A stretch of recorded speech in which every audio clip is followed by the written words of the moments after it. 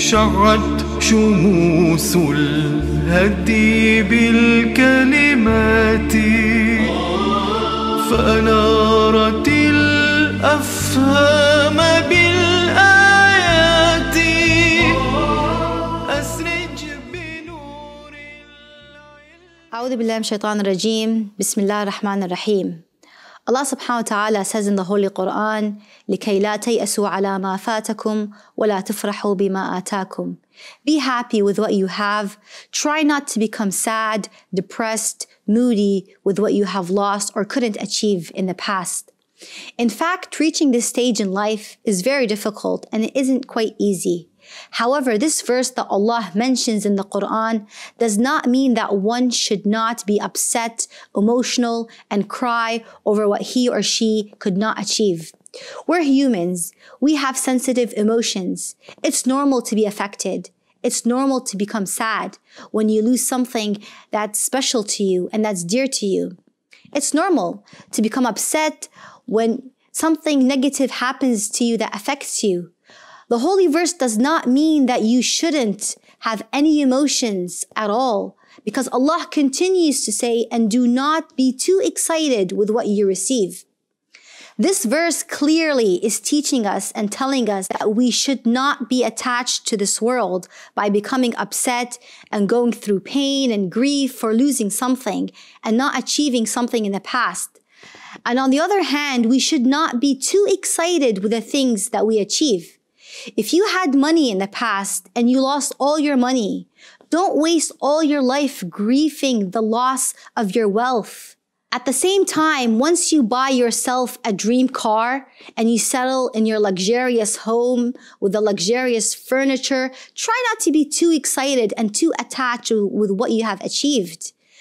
This one man once won 1 million gold dinars. His family feared that he would faint if he would hear the news that he won 1 million gold dinars. It's quite a lot of money. So his family got a psychological doctor to tell him that to approach him with the money that he had won.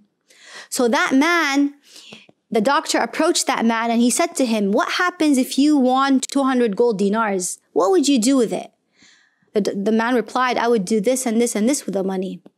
The doctor said to him, What if you won 300 gold dinars? What would you do with it? The man said, I would do this and this and this and that. Then the doctor said, What if you won 100,000 gold dinars? What would you do with it? The man replied to this doctor, No one will give me this money. I wouldn't win it. He said, What if? He said, If I did, I would give you half of the money. So the doctor got the paper and pen and he's like, Sign. When the man signed, the doctor himself fainted. He couldn't handle the excitement of having half gold dinars of what this man had.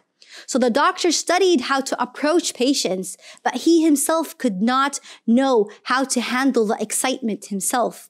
This is a great story and example that the verse here says that Allah wants us to control our emotions, whether they're exciting emotions or sad emotions. Expect everything and nothing will stay the same way it is. If you're going through a rough time in your life, keep in mind that this rough time is temporary. If you're going through an excitement moment, keep in mind that this excitement moment of your lifetime is also temporary. I'll mention another story about two siblings who fought over a land and that land, it cost a lot of money. So they went to court because they were fighting over this land. And after a couple of years, they spent so much money on court with laws here and there. And then one of the siblings had the land and got the land. The other sibling was affected. He cried. He almost lost his life. Allah subhanahu wa ta'ala here teaches us, do not be attached to this world if you lose anything from your past and do not be too excited with what you achieve. It's okay to be happy and excited and clap for yourself and smile over the things you achieve, but do not be too attached to it because everything in this world is temporary. And here Allah subhanahu wa ta'ala wants us to not become attached to this worldly desires. If that's the case, then one might ask Allah subhanahu wa ta'ala and be like, how can we engage ourselves and not regret what we have lost in the past? The answer is simple. Keep in mind that we human beings were born naked.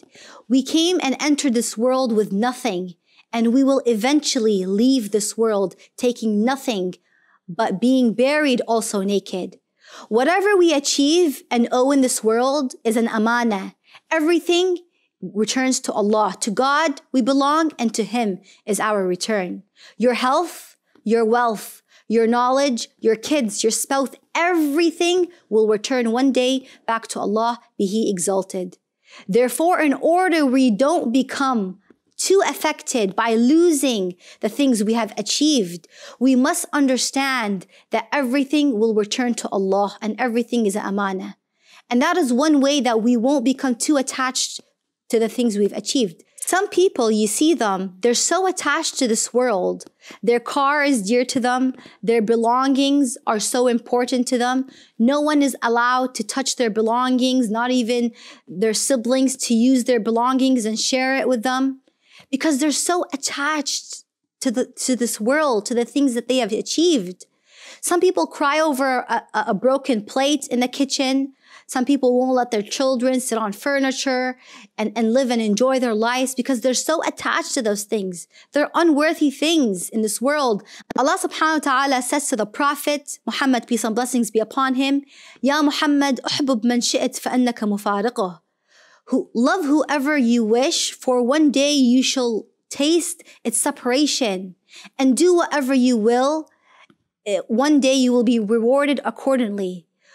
We can love our children, our siblings, our family, our friends, but one day we will be separated from them. We can love our furniture, our money, our car, everything that you owe, but one day learn that one day you will be separated from what you love.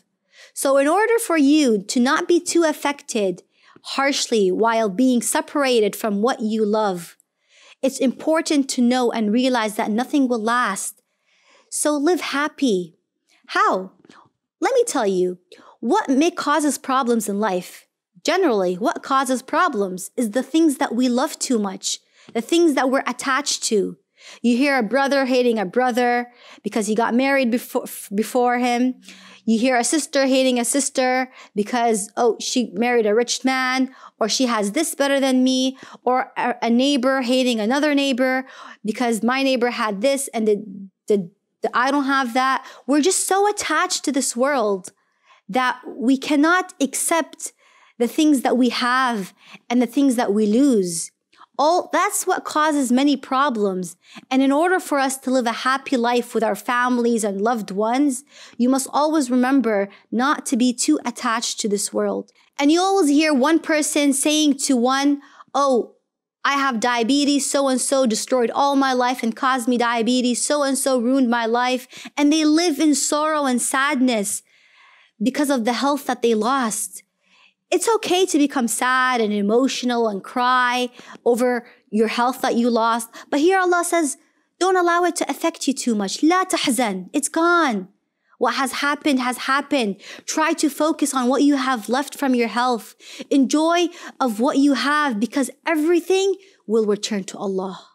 And this attitude in life makes us live happy. I've seen people myself who speak about their wealth that they had, their beauty that they had, and they're like, it's all gone. But you see them, they're still living happy. They're living happy and smiling over what they still have. And Allah subhanahu wa ta'ala in this holy verse, He had mentioned in the Quran for us to learn from it. Especially when we fast in this holy month of Ramadan, we're gonna feel the hunger, the thirst, the weakness that it's in our body. Even food won't last. Even food is temporary. When we become elderly, we won't be eating too much. Even the food that we're eating, we're going to become separated from it. Therefore, we will also be separated from food. So even food isn't really important to us. And this is this is why in this holy month of Ramadan, Allah subhanahu wa ta'ala wants us to feel have this feeling so we won't be too attached to things. And we should practice not to grieve over anything that you have lost in your past. Practice on not being too excited with the things you've achieved. You've achieved money, good for you. Be happy with it, but don't be too attached.